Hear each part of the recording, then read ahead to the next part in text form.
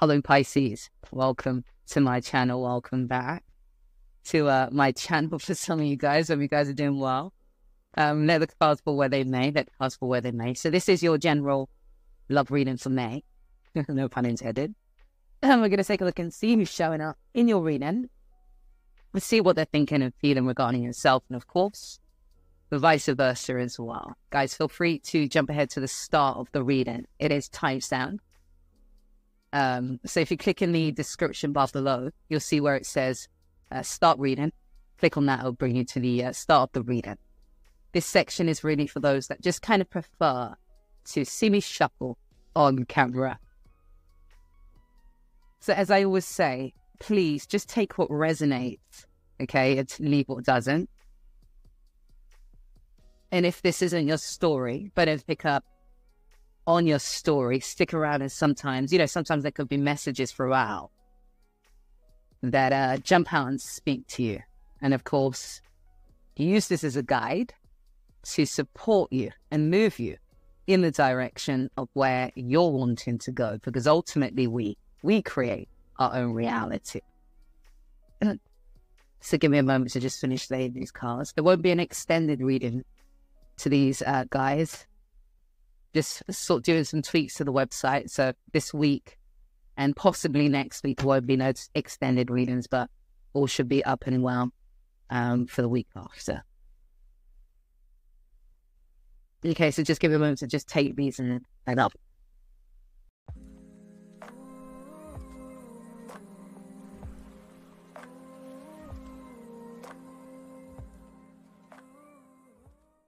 So Pisces, let's start your reading. And of course, take whatever side resonates with you guys and picking up as uh, this being your side, the person that you're dealing with over here. But you can always flip switch whatever side just kind of resonates the most.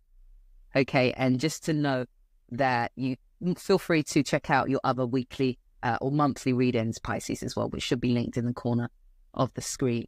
And also, there won't be any part two to the reading uh, this week or next week as well, guys, because uh, a few tweaks to the website that needs to be done. All right, so let's start your reading. So I like to start at the past for those of you who don't know. So just in terms of the dynamics of the past, there seems to be like maybe there was some challenges prior to this where you both was trying to work on this relationship in some way, but it kind of just didn't get to the point where there was much difference made or there was much headway made. It's like maybe you couldn't overcome certain challenges. You you was more willing to, but them more so not willing to, simply because of the A. So it seems like they kind of walked away from this, gave you some information, or even not. I don't feel like I'm going to pull on that as well, because I feel like this person maybe just upped and left, or mm, maybe not so harsh. Hopefully, not so harsh for some of you, not so harsh, but definitely an un. I don't want to use the word unresolved, but more so maybe a conversation that wasn't had fully, maybe information wasn't shared fully. And that's where that shock came from. Maybe this was out of the blue for you as well. But um, yeah, that's where that shock came from. It kind of disrupted things for you. This person chose to maybe walk away, not even maybe walk away from this relationship. This is someone that you've either built something with as well, or you was planning on uh, building something with this person. Maybe you already have kids together maybe you already share a home or business, but something was birthed or you wanted something to be birthed when it came to the dynamic of this relationship. So that kind of shocked you, even though they saw you as someone that they had already built and laid a foundation with. Something happened, and I feel it's to do with you guys not being able to overcome something, which caused this person to want to just kind of move away. Use this as the path of least resistance. Let's say that. Let's say that and I need to pull, which brings us to where we are at the moment. I feel like this is more so you. Um, of course, the worry and the stress and even the sleepless nights that's come with that experience is caught you in a place or got you in a place. But now it seems like this person is, they're showing up as the queen, the queen of cups, which, you know, the queen is very much an, a compassionate, empathetic, patient, understanding type of queen. I feel like this person has come back to help support you in some way. Um, Pisces. Yeah, come help, come to help support you in some way. Maybe due to actually coming back and giving you an explanation. But you're feeling like, okay, so things are turning around in your favor. Yes, as much as this person might not have expressed, you know, wanting to get back together or anything, you're feeling, still feeling like you're wanting to, or things are starting to turn around for you. But there is this idea of, okay, so can I make this work? Can I make this happen? Can this actually happen? Because we still have that Seven of Pentacles showing up here for you in your thinking. There's indecisiveness here for you in your challenges. And I feel like this is more about you perceiving how they're looking at this relationship or looking at this connection. It's like, because this is your challenge, this is a chariot. Some decks, for in uh, if I can speak, in some decks, the chariot for me is about indecisiveness, going back and forth. Only rare occasion a deck will say for you know spring out to me where the chariot says, okay, so this is someone has made a decision and they're positively moving forward. This is more about them being indecisive.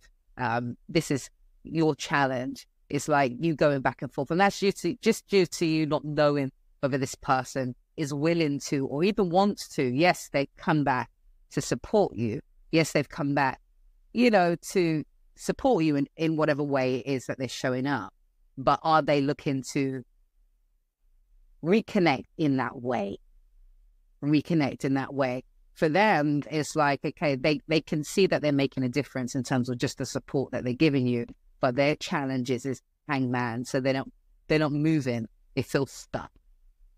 Let's shed some light on that hangman.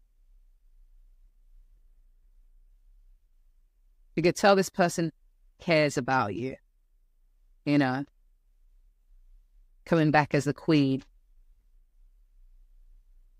or for or even maybe this person, you know, yeah, it's like they're stuck.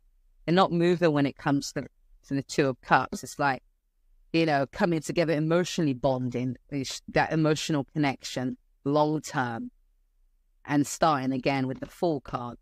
So the Fool card represents, you know, this new beginning, this taking a risk. It's a very much a naive. The Fool is the first card in the in the journey, the Fool's journey, ultimately. So this is, and this is their challenge. Um, you know, it's emotionally connected and coming back together again. They're stuck on that. They're not moving on that. Now, doesn't take away from the fact that this person is very much highly attracted to you, but I feel like there's some form of awareness of maybe the difference in how you both are. Oh, there could be some difference in how you both are. Still a strong attraction there, though. Still a strong attraction there. But there could be, for some of you, a different with the lover's card there. If you can see that. King of Swords. And wanting to be, wanting to be, how do I put that? Wanting to be careful. Uh, not exactly hits the spot, doesn't exactly hit the, hit the spot. Wanting to be mindful. Yeah, mindful of where this could lead. Yes, there's a strong attraction, but can it work ultimately? Can me and my Pisces do this? Can me and Pisces do this? Because of this indecisiveness, again, this is coming from you just not being so sure, you're wanting to kind of I don't want to, I don't want to use the word boundaries, but I'm going to say boundaries. You want to wanting to put your boundaries up. For some of you, boundaries might be too much of a strong word, but that you're wanting to put your be a, be a bit guarded, maybe, or not be so comfortable with this person. I tell you what it's like. It's like you know you getting getting getting your high hopes up or getting your hopes up and getting comfortable with this person and opening up opening up yourself energetically in that way, in that romantic way. Don't need to express it. Um, and then this person decides that they don't want to. It's like you're taking a risk. You don't want to take that risk. So you wanted to just kind of, you know, pull your boundaries up a bit. Um, not be so comfortable with this person while you process things because you're still trying to. It's like one minute you're maybe wanting to have a conversation with this person about where you both could lead, and then the next minute you go against that. It's like, no, but yesterday they said what they said the other day, or they didn't turn up, so that means they're not really interested, or you know how they express that, or you know, certain little things that's causing you to jump back on yourself or go back on yourself. So there's this back and forth. And then the next day, it's like, well, no, of course, you know, this person is clearly, yeah, interested. Got the shadow side coming up as well. There's a, yeah, hesitation, hesitation, not sure.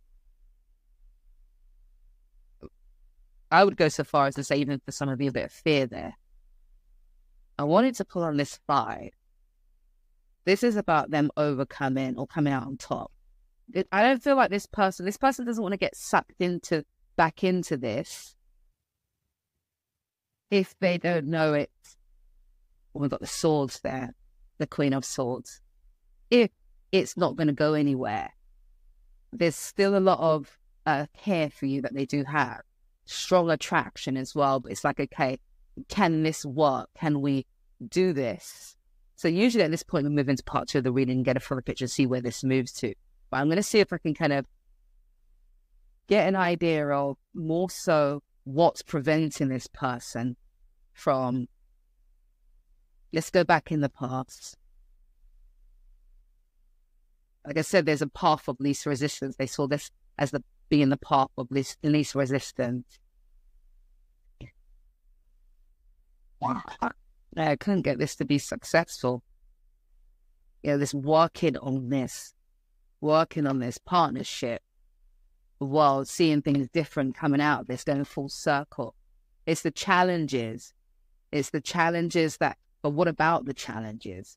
What is, I mean, each situation, this is a general reading, so each situation is going to be different. But it's about the challenges, is what's what's causing this person to hesitate, not move forward on there, is them not knowing whether you guys can actually overcome the challenges that you've been facing. That you've been facing. You know. So hopefully this is giving you some form of clarity, guys. Uh, but as of you who don't know, I do weekly singles and love readings. We'll be implementing the singles readings in the next two weeks, guys. So look out for that. Very excited about that. Not done the singles in a while. So I'm really excited about that. Um, but other than that, hopefully you guys have a beautiful, beautiful day. And like I said, the extended part two readings will be out in the next two weeks. Have a beautiful day, and I shall see you next.